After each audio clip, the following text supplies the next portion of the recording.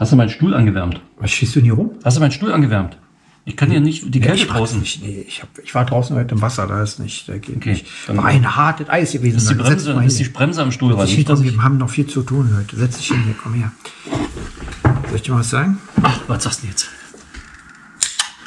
Ui, Hast du es gehört? ist Februar? Warte, warte, warte. Ich auch, ich mache auch mit. Wie war denn das jetzt hier? Wie ging das auf?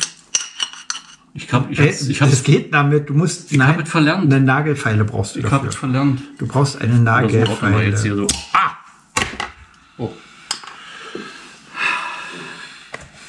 Hallo! Hallo Bockheide, ja, hallo Welt. Es ist Februar Matze? und der Lutze. Und es ist Februar. Wo ist der Februar? Der Hier. trockene Januar ist vorbei. Wir dürfen wieder. Wir dürfen trinken. wieder. Ähm, ja, und äh, Oh, der erste Alkohol seit. äh, Sind wir gleich besoffen? Aber wir, sind wir machen jetzt sowieso jetzt nicht nicht, ihr müsst ihr nicht denken, dass wir uns jetzt hier jeden Tag zusammen. Nein. Ähm, trotzdem, Prävention dürfen wir natürlich sagen, ja, Alkohol ist ein Zellgift, also bitte mäßig, nicht übermäßig. Denn ähm, was dann passiert, seht ihr hier. So, noch mal ein bisschen an der Kamera rumgeschoben. Prost. Prost. Also, ich, vertrage ich das jetzt einfach so wieder nach einem Monat ohne? Das weiß ich nicht. Probier es mal aus.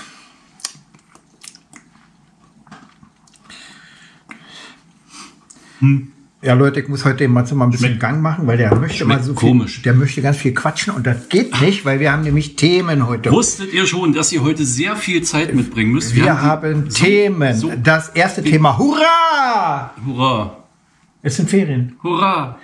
Hurra! Ferien. Es sind Ferien. Das heißt, für die meisten Kinder hat sich von Hat sich da was geändert? Ne? letzter Woche bis diese Woche nichts geändert und äh, viele haben schon erhofft, dass Fortnite auf dem Zeugnis steht, aber nein. Und da kommt ja noch was dazu. Und zwar der Matze oder der Bürgermeister haben gemacht, dass draußen alles weiß ist. Also ich glaube, der Bürgermeister hat viel Geld in die Hand genommen Warte und hat dafür gesorgt, dass alles sauber und ordentlich Ich habe mein Geld noch, ich war's nicht. Also war es der Bürgermeister. Er hat Hm. Geld in die Hand genommen, so dass alles weiß ist. Und ihr habt es ja gemerkt, richtig 10 Zentimeter, 11, 12 Zentimeter Schnee überall. Ganz geil. Viele, ganz, ganz viele Leute draußen. Äh, übrigens für die, die es noch nicht kennen, ja, das Zeug nennt man Schnee. Hat nichts mit dem Zeug zu tun, was in Berlin gehandelt wird, im Girlie. Cotti oder? Gotti, Ja. Mhm. Girlie, ist, so, ist egal. Und was ganz, ganz wichtig ist, hat Matze mir nämlich vorhin gesagt, der Schnee, der aussieht, als wäre er mit Zitrone versetzt, den soll man nicht essen. Der Schmeckt nicht. Es gibt ja immer wieder neue Erdenbürger, also auch die neu hinzugekommenen. Mhm. Ne? Gelber Schnee schmeckt nicht. Und dann übrigens, ja, könnt ihr euch noch dran erinnern? Das hier? Stürzen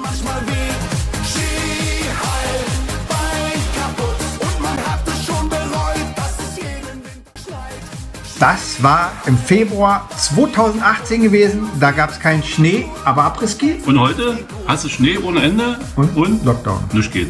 Ja. Und dann, Matze? Die Hochschneesituation. Dann kommt dieses Auto mit diesen kleinen blauen Huckeln oben drauf. Die Hochschneesituation hat dafür gesorgt, dass die Pistenpolizei in Borkheide am Rodelberg vorbeikam Balken. Und die Après-Ski-Party, die es gar nicht gab, hatte sprengen wollen. und für Ordnung gesorgt hat. Ja, das soll vorkommen. Na gut, jetzt, damit wir so wir, wir müssen uns ein bisschen straffen, Matze. Wir hatten Kann ja dir, noch was ich bin gehabt. straff genug, hör Wir, auf. wir, wir, sag mal, Ich bin straff genug. Alter, ich bin straff genug. Fällt mir auf, oder? Matze, wir waren ja, bevor wir, nee, wir machen jetzt erstmal den Gruß der Woche, ne? Gruß der Woche haben wir heute gleich dreimal. Matze, du fängst einfach mal an. Ich fange an. Hallo Mutti, nachträglich alles Gute zum 80. wollte der Lutze dir auch mal sagen. Ja, übrigens, herzlichen Glückwunsch zum 80. Hier ist das so trocken. Ach nee, doch nicht. Guck mal, ist gar nicht mehr so trocken. Prost. Auf die, Auf deinen 80. jetzt waren es 4x20, auf die 5x20. Oh, ich kann gar nicht mehr richtig trinken.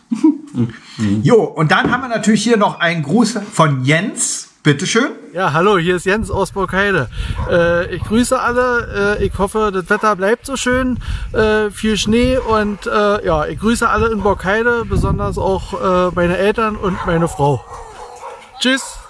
Ja, das läuft doch. Ja, super, ne? Na, Auch von uns natürlich schöne Grüße. Und jetzt kommt noch Holly Molly und die grüßt die Familie Schelk und alle anderen Hunde äh, äh, Besitzer. Besitzer.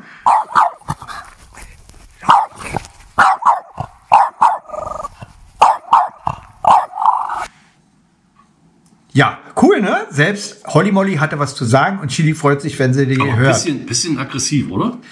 Ich weiß es nicht, ich weiß es nicht, ich weiß es nicht. Das ist bestimmt ein So, Kampfhund. mein lieber Der ist auf Matze. Kehle dressiert. Und jetzt Kniekehle. kommen wir zur Richtigstellung. Ach du Scheiße. Du hast ja ganz viele Zettel. Das dauert länger. Meine, wir haben noch einen langen Film. Ach so, warte, ich muss mal ein bisschen Stichpunkte gucken. Also, es war ja ganz viel früher und wir hatten ja nichts. Ne? Wir, wir wohnten ja auf der Seite, der, wie du auch, früher auf der, wir hatten ja nichts. Und auf der anderen Seite, hinter der Grenze, das war ja nur das Land, wo den ganzen, das ganze Jahr über diese Weihnachtspakete geschickt wurden, die dann als Westpaket zu Weihnachten zu uns rüberkamen. Richtig? Ja, ne? So Toilettenpapier haben die geschickt. Dann, Und Linsen und Erbsen. ja, und dann schwappen aber auch manchmal so Sachen rüber, wie zum Beispiel hier Mike Krüger so, ne, der war bekannt und so, so andere Comedians, Dieter Hallervorden und da gab's auch einen, der hieß Otto. Und Otto, der war auch ein großer Aufklärer, der hat nämlich den Leuten erklärt, wie es zum Beispiel in Ostfriesland ausgesehen hat. Das kannte man ja auch. Und die hatten auch eine Nationalflagge. Und die hat er auch mal textlich betitelt und das klingt so, wie jetzt hier gerade läuft. Die ostfriesische Nationalflagge. Weißer Adler auf weißem Und da gibt's auch Grund. das Bild, ne? das siehst du hier, kannst du mal einblenden, weißer Adler auf weißem Grund. ah, es hat sich ja nun äh, bis zu mir durchgesprochen, dass andere Leute auch der Meinung sind, das gibt eine wirkliche ostfriesische Flagge. Und natürlich wissen wir das. Und die sieht so aus wie hier. So. Schönen Gruß nach Ostfriesland. die kleine große Richtigstellung. Also ich weiß jetzt nicht, wem ich mehr glauben soll. So einer Fahne, so einer bunten oder Otto. Also wenn Otto im Fernsehen ist, dann sagt er doch die Wahrheit, oder? Ja, eigentlich schon, der war Lehrer. Ja, da ist doch alles klar. Ja, Lügenlehrer? Nein. Niemals. Niemals. Können die gar nicht. Die So. wissen nämlich nicht, wie es geht. Also, da wir hier keine Namen sagen von Leuten, die das äh, sagen, also liebe Dagi, alles klar, schön, dass auch du unsere Sendung guckst. ähm, danke, äh, schön, wir lachen auch alle. Genau. So, ich hoffe, ihr habt immer noch genug Sitzefleisch. War ja noch nicht so lang, aber jetzt geht's weiter. Jetzt kommen wir zum nächsten und zwar Hotel Fliegerheim mal wieder beim Wickel. Da gab's äh, irgendwie ganz groß was zu feiern. Ja, Und um was es da genau ging, das können wir gar nicht so viel erklären. können wir gar nicht erklären, wie wir das müssten. Und deswegen sind wir einfach mal kurz hingegangen. Natürlich mit großem Abstand. Erst der Matze, dann die Kamera, dann ich hinterher. Ja, und dann sind wir rein. Und dann sind wir rein. Und dann haben wir das hier für euch aufgenommen. Bitteschön.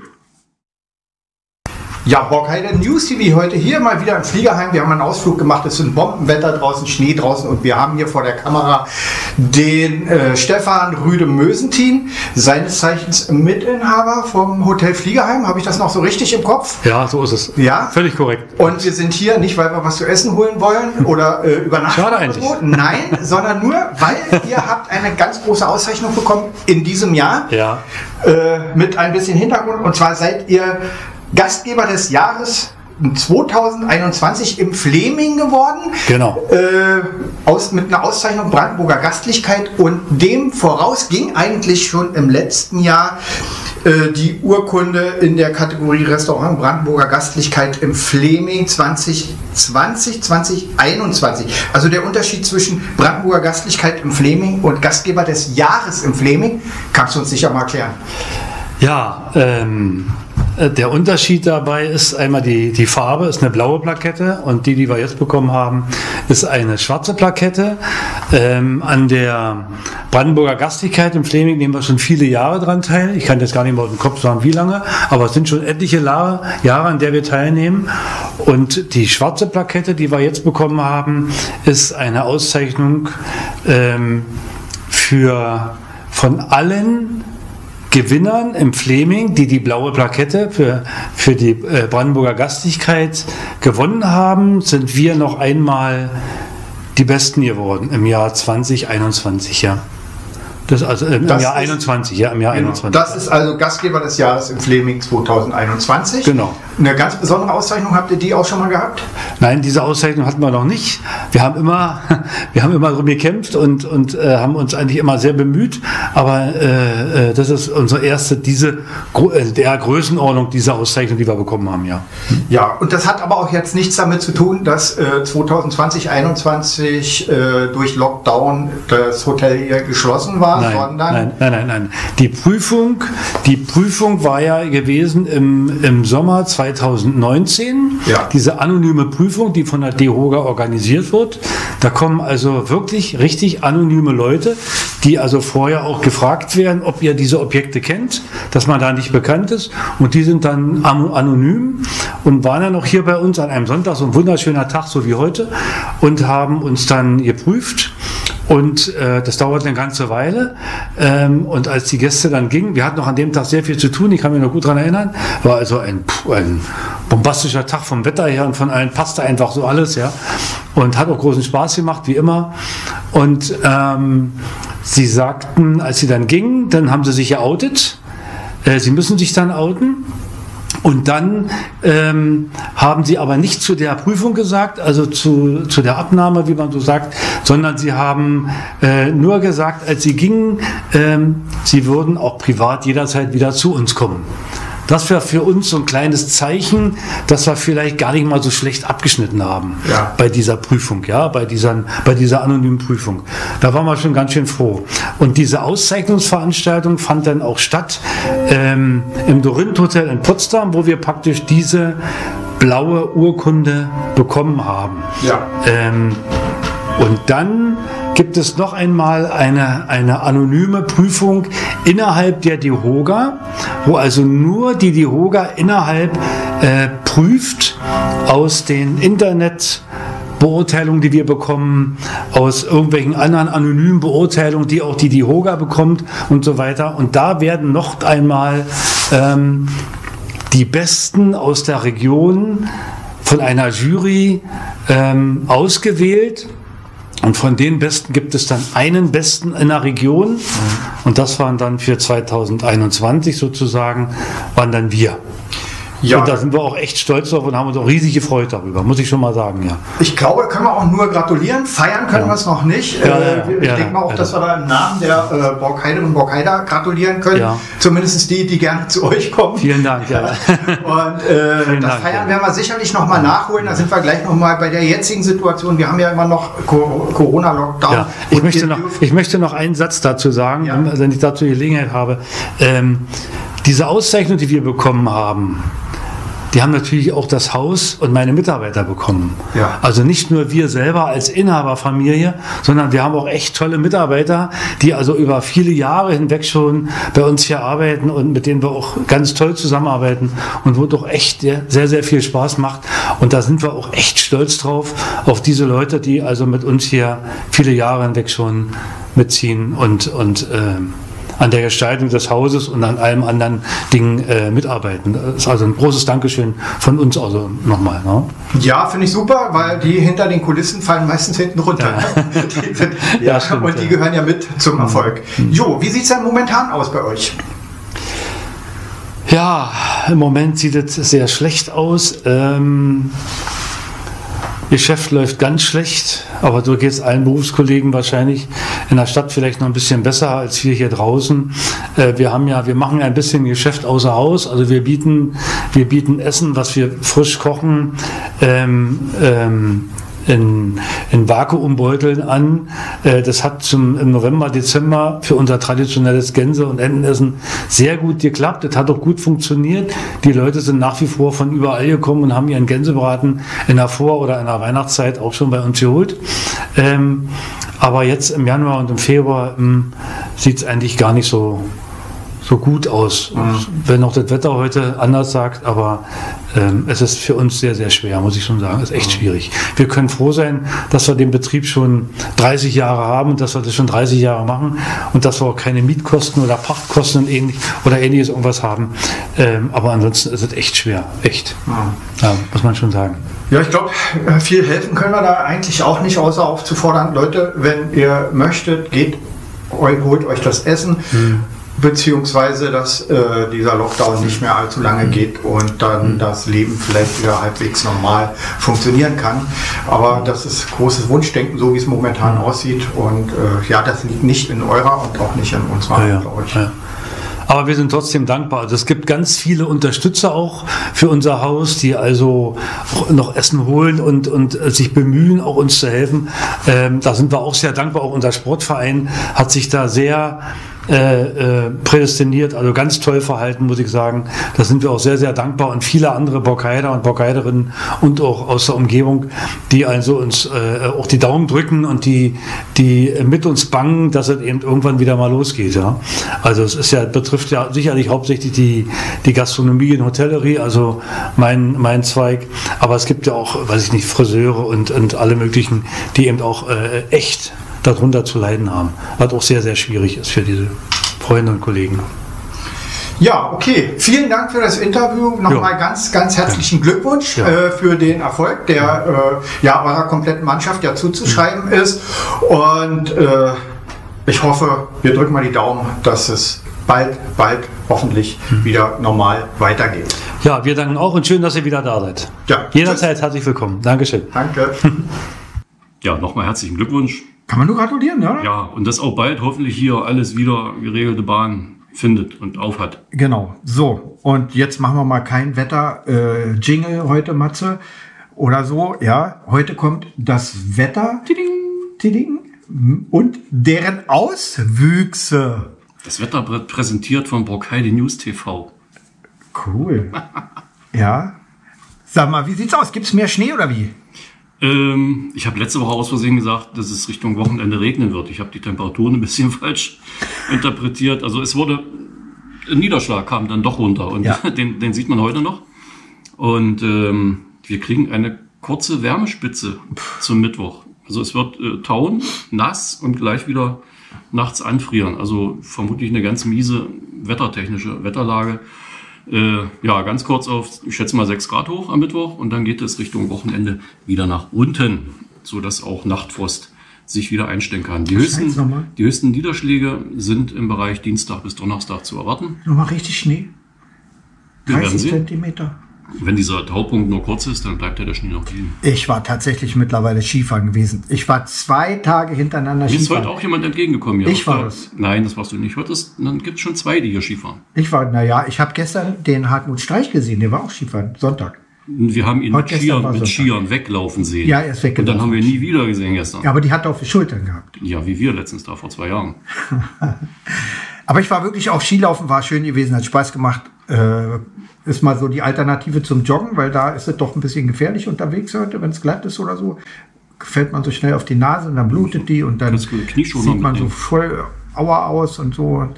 Äh, ja, so, hat Matze jetzt das Wetter gesagt. Es sieht nach nichts Ja. aus.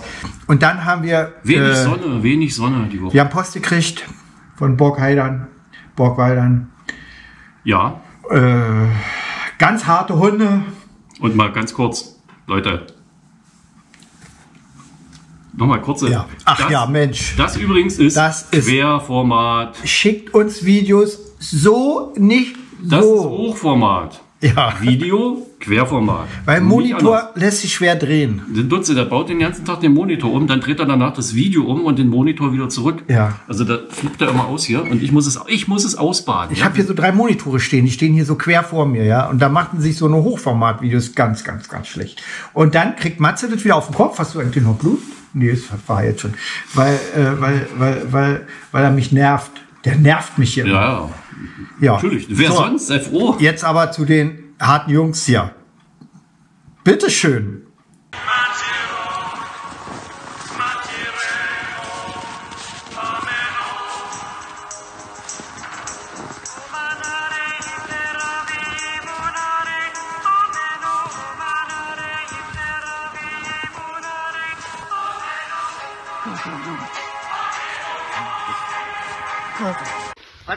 Einmal da bitte, da haben wir Licht.